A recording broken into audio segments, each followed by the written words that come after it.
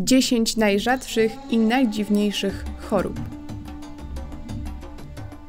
Ludzie, którzy nie widzą twarzy. Wystarczy, że ich znajomy obetnie albo przefarbuje włosy i już nie są w stanie go rozpoznać.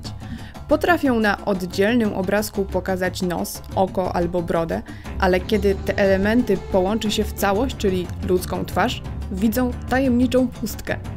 To osoby cierpiące na prozopagnozję, czyli tak zwaną ślepotę twarzy. Heather Sellers, amerykańska nauczycielka, tak pisze o swoim defekcie. Zdarzało się, że widziałam w lustrze morze odbijających się twarzy. Nie wiedziałam, która należy do mnie. Prozopagnozja może być efektem urazu mózgu, ale też może być cechą wrodzoną. Eksperci szacują, że różnego stopnia ślepota twarzy występuje u 2% ludzi. Zespół Alicji w Krainie Czarów. Niektóre źródła sugerują, że ten niezwykły świat stworzony przez Louisa Carola był wynikiem jego choroby. Pisarz cierpiał na migrenę z aurą. Przed każdym bólem głowy, zazwyczaj kilka lub kilkadziesiąt minut wcześniej, pojawiały się u niego objawy neurologiczne, takie jak mroczki przed oczami, błyski w polu widzenia, zaburzenia ostrości widzenia, a nawet chwilowe utraty wzroku. Aura migrenowa zmieniła jego postrzeganie własnego ciała, a nawet wpływała na poczucie czasu. Podobne objawy pojawiają się u osób cierpiących na zespół Alicji w Krainie Czarów. To tajemnicze zaburzenie psychosensoryczne, które pojawia się najczęściej u dzieci pomiędzy 5 a 10 rokiem życia i u osób dorosłych cierpiących na migrenę z aurą właśnie. Osoby z zespołem Alicji w Krainie Czarów mają halucynacje, doświadczają iluzji związanych z percepcją ciała, poczuciem czasu i prędkości. Podczas wywiadu lekarskiego w różny sposób opisywały one swoje objawy. Niektórym wydawało się, że ich ciało się kurczy albo wręcz przeciwnie się właśnie powiększa. Niektórzy mieli wrażenie, jakby niektóre części ich ciała rosły, na przykład uszy, ręce albo nogi, i inni mówili, że idąc po chudniku nagle byli tacy wysocy, że mogli patrzeć na czubki głów innych przechodniów. Przedmioty, które ich otaczały, się oddalały albo przybliżały, wydawały się mniejsze albo większe, stąd osoba z tym zaburzeniem może mieć chwilowe zaburzenia równowagi. Bo wydaje jej się, że musi utrzymać pochyłą pozycję ciała, podczas gdy tak naprawdę stoi prosto. Śmiertelna bezsenność. Dotyczy 40 rodzin na świecie. Zmutowany gen, który jest przekazywany z pokolenia na pokolenie, powoduje bezsenność, która nieuchronnie prowadzi do zgonu. Lekarze nie wiedzą, co wyzwala objawy choroby. Jeśli posiadacz wadliwego genu przestaje w nocy zasypiać, może zacząć się żegnać z życiem. Naukowcy uważają, że nosicielem pierwszego zmutowanego genu odpowiedzialnego za tę straszną chorobę był lekarz pochodzący z Wenecji, żyjący 200 lat temu, a w każdym razie był pierwszym znanym przypadkiem. Umarł w 1765, a jego dzieci dostały w spadku straszliwą klątwę. Pozornie zwykła bezsenność przeradza się w niekończącą się serię dni i nocy bez snu, prowadzącą oczywiście do obłędu, zaburzeń ruchu i uniemożliwiając funkcjowanie. Dziś lekarze prowadzą badania nad możliwością jak najwcześniejszego wykrycia takiego genu, ale też szukają sposobu na zahamowanie choroby. Zespół surfera Zaczyna się całkiem niewinnie. Najpierw pojawia się lekki ból w plecach, taki, który zwykle bagatelizuje się, bo to pewnie tylko naciągnięty mięsień. Jeszcze tego samego dnia pojawia się ból w nogach i trudności z chodzeniem, a w końcu trwałe porażenie kończyn dolnych. Lekarze zajmujący się tą dolegliwością tłumaczą, że to problem mechaniczny. Nowicjusz leży płasko na desce, a potem wygina nadmiernie plecy, żeby widzieć skąd nadciągają kolejne fale. U niewielkiego odsetka następuje wtedy odcięcie dopływu krwi do rdzenia kręgowego. Nie wiadomo dlaczego jednych to spotyka, a innych nie i dlaczego u jednych kończy się na łagodny niedowładzie kończyn, a inni lądują na wózku inwalidzkim i właściwie nigdy nie wracają do pełnej sprawności. W Ameryce powstała specjalna fundacja, która zajmuje się edukacją surferów i ratowników. AHC, czyli naprzemienna hemiplegia dziecięca. Trafia się około raz na milion urodzeń. Jest trudna do zdiagnozowania, bo większość lekarzy o niej zwyczajnie nie słyszała. U większości chorych błędnie diagnozuje się lekoodporną padaczkę lub mózgowe porażenie dziecięce. Choroba objawia się epizodami porażenia połowicznego, od lekkiego do całkowitego. Wygląda to tak, jakby ciało wykrzywiała jakaś niewidzialna siła. W przeszłości była mylona z opętaniami przez demony. Ludzie o rybim zapachu. To z pewnością jedna z najrzadszych chorób na świecie.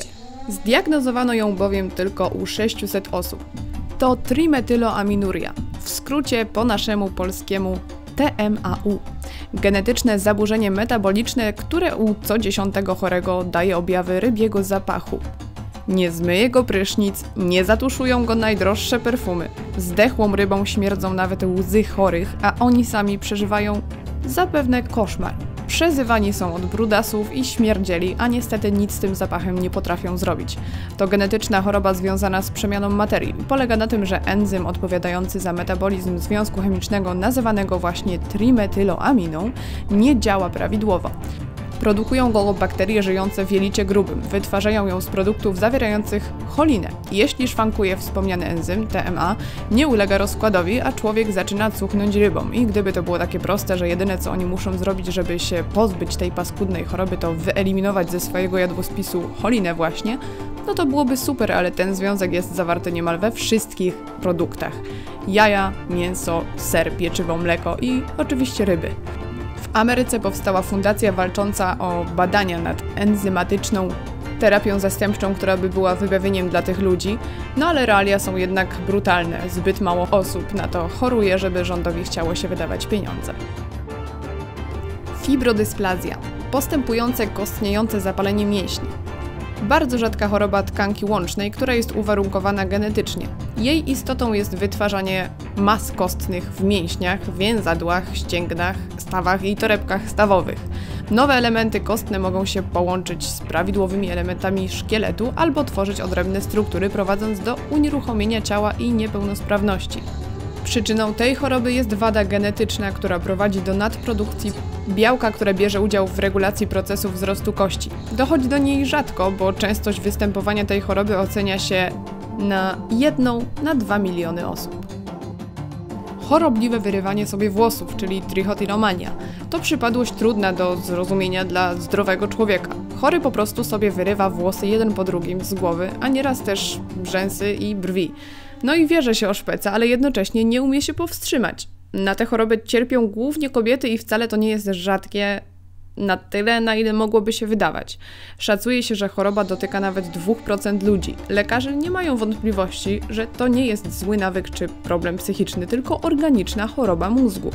Zaburzenie neurologiczne, które znajduje się w, na tej samej półce co zaburzenia obsesyjno-kompulsywne, czy na przykład zespół Tureta.